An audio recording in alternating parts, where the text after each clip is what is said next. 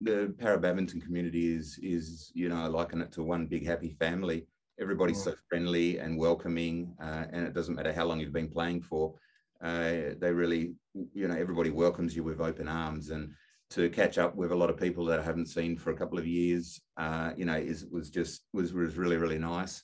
Uh, you know, talking to a lot of old friends, and I think um, you know, just there's a there's mutual respect. Uh, you know, whether you've been playing for three years or, or 13 years, there's a mutual respect amongst the players, and you know, a few of the people that I was speaking to had mentioned how much uh, they thought I'd improved in those couple of years that we've been um, you know, that we haven't been competing, which was nice to hear.